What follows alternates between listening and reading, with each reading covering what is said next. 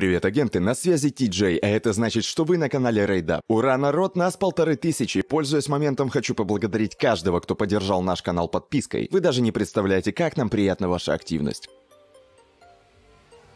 Кстати, не забывайте о розыгрыше по этому случаю. На днях выйдет видео, где мы все подробно расскажем. Ну а сейчас давайте окунемся в новый перевод видео от ProGuides. Сегодня мы узнаем пару полезных советов от про-игроков, чтобы улучшить ваш АИМ. Одним из первых и наиболее важных шагов к улучшению вашего АИМа является создание хорошей программы тренировок и разминки, которые не только оточат ваши игровые навыки прицеливания, но и подготовят вас к восхождению по рангу. Здесь все как и в любом спорте. Чем больше вы тренируетесь, тем лучше ваш результат. При этом соблюдая соблюдая баланс между реальной жизнью и игровой практикой. На мой взгляд, хороший тренировочный распорядок для среднего игрока будет выглядеть следующим образом. Перед игрой вы идете разминаться, тренируя один из таких аспектов прицеливания, как время реакции. Тренировка по зрительно-моторной координации или часик в дедматче. Вот вы размялись и сыграли в дедматч, теперь время сходить в обычную игру, и только после этого идем в ранговые. Но прежде чем мы продолжим, у нас традиционно вопрос дня. С какой сенсой вы обычно играете? Лично я играю с низкой сенсой, это позволяет мне лучше целиться. А свои варианты вы можете оставлять внизу в комментариях. Совет номер два. Наш второй совет — это удержание и стрельба из-за угла. Это стратегия позиционирования на карте. И когда вы научитесь использовать эту стратегию, вы значительно улучшите навыки своей игры. Вы должны стараться избегать открытых участков карты и держаться рядом с углом или стеной. Тем самым вы ограничиваете обзор и свой хитбокс для врага. Также это отличный способ избежать урон. Например, вы удерживаете плент и его рашит сразу несколько противников. С помощью этой техники вы не будете открыты для всех врагов.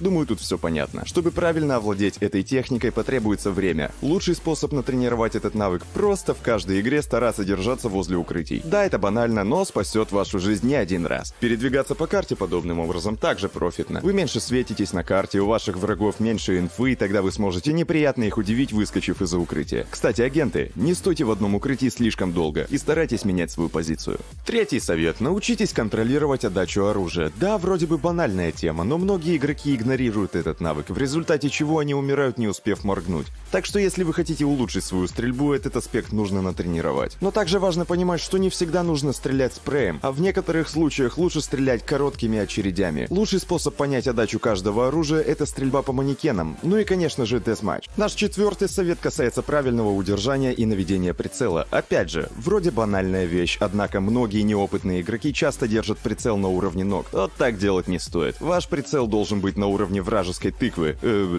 головы. Также нужно уметь держать прицел в том месте, где потенциально может оказаться ваш враг с небольшим упреждением. Общая концепция довольно проста. Быстрее увидел, быстрее убил, ну если, конечно, вы держите прицел правильно. Ну теперь-то вы это знаете, не так ли? Как и остальные навыки, этот навык требует тренировки, так что не ленитесь и будете вознаграждены. Пятый совет — это наведение и стрельба. Как и в любых FPS-играх, это самый полезный навык, без которого никуда. Да, мы прям капитан очевидность, но опять же, у многих игроков с этим явная проблема. Моя личная рекомендация — это скачайте Kovacs Aim Trainer. Это позволит отточить эти навыки. Если вы не хотите тратить на него деньги, то есть множество бесплатных альтернатив. Следующий совет заключается в снижении сенсы на мышке. Эта рекомендация основывается на многолетнем опыте многих про-игроков в жанре FPS. Про-игроки, у которых возникают проблемы с наведением прицела в игре, как правило, снижают сенсу на мышке, чтобы улучшить ситуацию. И мы рекомендуем вам поступить точно так же. При снижении чувствительности вы будете целиться с помощью всей руки, а не просто запястьем, так что это полезно еще и для вашего тела. И последний совет на сегодня, чтобы улучшить свой АИМ. Держите мышку правильно. Есть несколько способов держать мышку правильно, которые ProGuides приводит дальше, но мы советуем не заморачиваться, просто старайтесь держать мышку так, чтобы было удобно вашей руке. Ну что, агенты, на этом видео подходит к концу. Надеюсь, вы почерпнули для себя что-то новое. Если видео понравилось, поддержи канал лайком, также оставляйте свои мнения и пожелания в комментариях под роликом. Увидимся в следующем видео. Пока-пока.